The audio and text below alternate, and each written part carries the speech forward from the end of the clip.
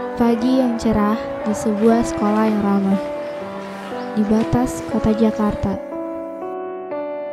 Di sinilah kami belajar di saat matahari menyingsing hingga petang menjelang.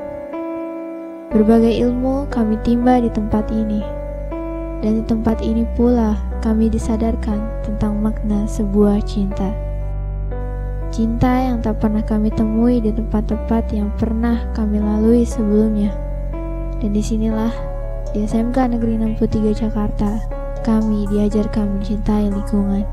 Cinta yang kami terima adalah rasa yang menembus batas garis kehidupan di bumi ini.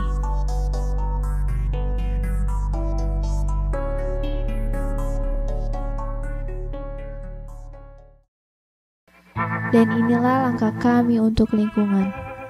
Sebuah pot kecil yang kami buat bersama-sama sebagai cara mengurangi peredaran plastik di bumi ini.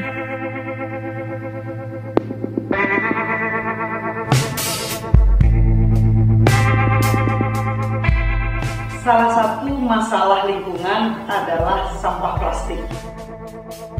Makanya SMK Negeri 63 mengeluarkan produksi yang kita sebut dengan biopot. Biopot ini terbuat dari pelepah pisang dicampur dengan lem tapioka. Ini sangat ramah terhadap lingkungan karena dalam waktu tertentu akan hancur dengan sendirinya. Berbeda dengan kalau kita menggunakan polybag plastik.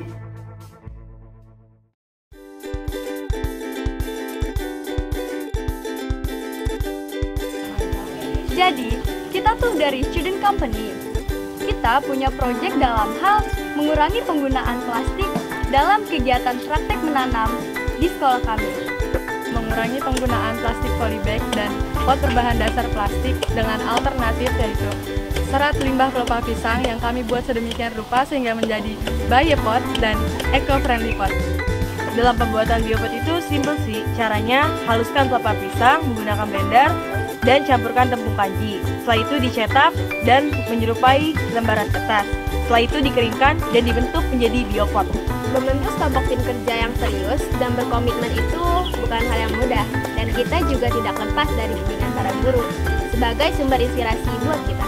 Kalau dengar komentar orang, nah mungkin usaha kita terlihat kecil dan sederhana, tapi bagi kita ini adalah suatu pembuktian bahwa tanggung jawab terhadap lingkungan sangatlah besar dan harus diperhatikan.